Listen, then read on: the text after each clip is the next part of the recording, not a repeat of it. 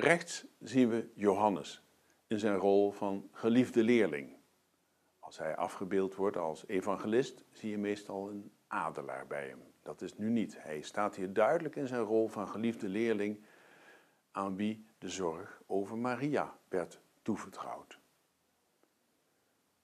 Johannes is samen met zijn broer Jacobus en Petrus de intieme vriendenkring van Jezus. Zij waren erbij bij de opwekking van de dochter van Jairus, de gedaanteverandering op de berg en in de Hof van Olijven waren zij er ook.